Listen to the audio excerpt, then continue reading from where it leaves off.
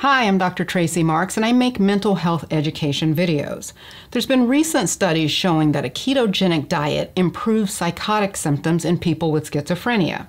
In a previous video that I did, I talk about how the Mediterranean diet is being shown to improve depression. And I have a link to that video in the corner and in the description.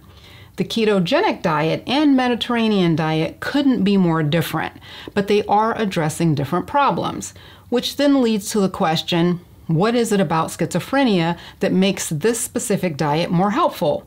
We don't have a clear understanding of what causes schizophrenia. The fact that this diet helps, though, and how it helps, gives us more information about what goes wrong in the brain that causes schizophrenia. I explain schizophrenia in this video, and you can watch it after this one. I'll also have a link in the description. First, I'll explain what the ketogenic diet is, and then I'll explain how it was shown to help the brains of people with schizophrenia. The ketogenic diet is a high fat, low carbohydrate diet. Normally, your body uses carbohydrates to burn energy. The carbohydrates are broken down into the simple sugar glucose.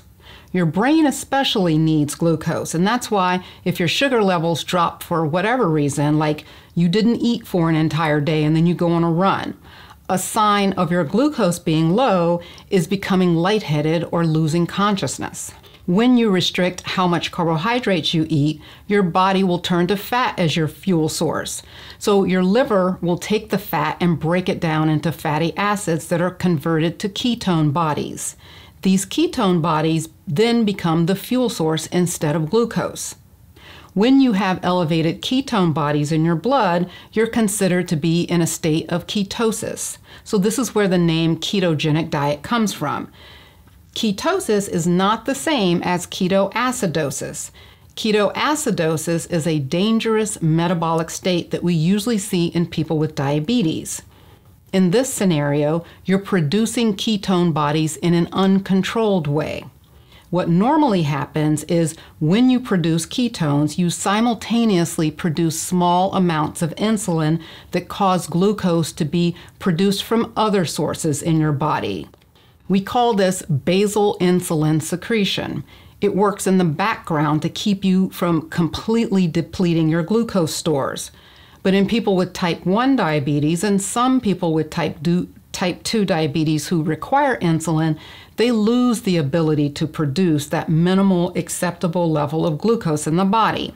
In that case, once you trigger the production of ketone bodies, it's like an avalanche of ketones that overwhelm the body and put the person in a state of metabolic acidosis because ketones are acidic ketosis from carbohydrate restriction doesn't lead to ketoacidosis in someone who has normal insulin production. The ketogenic diet can help with blood sugar control in people with diabetes, but you have to be careful and should talk with your doctor about whether or not it's a good idea for you to follow. It may be that you do a modified form of it. This diet is not new. It's been studied in other conditions like seizure disorder, Alzheimer's disease, Parkinson's disease, and others. It also has become a popular lifestyle diet because of the fat burning mechanism uh, causes a lot of weight loss.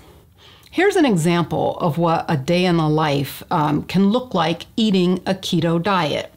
For breakfast, you could have scrambled eggs and a cream sauce with bacon, Lunch could be a chicken breast with sliced avocado and broccoli with butter. And for dinner, you could have salmon and a lemon cream sauce, salad greens with high fat dressing. Here's what we understand so far about what happens in the brain of a person with schizophrenia.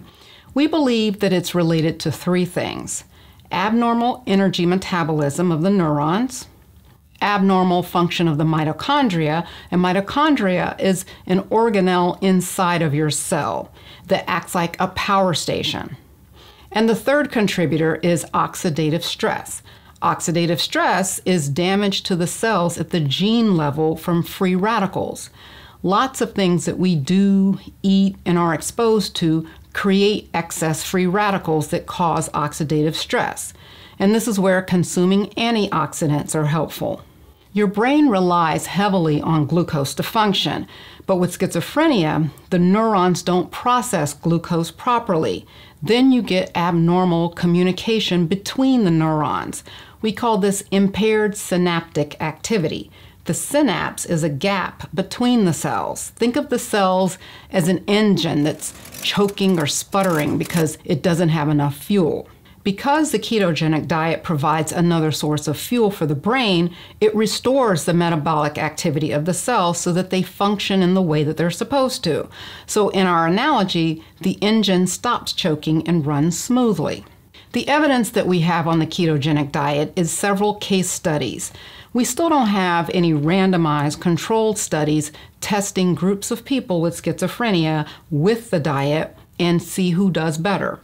Randomized control studies are the highest level of evidence that we look for to conclude that a finding is valid and reproducible. So we're not there yet as far as seeing this as a definite intervention for schizophrenia, but we're getting there. It's still a positive thing to see because not only can the diet improve symptoms, but it can also improve the weight gain that comes with the medications we prescribe to treat the symptoms. So that's a twofold benefit. It's not an easy diet to follow, though, and it takes a lot of discipline, but it's something to look into as a non medication option to benefit uh, schizophrenia. If you want to know more about schizophrenia, watch this video. See you next time.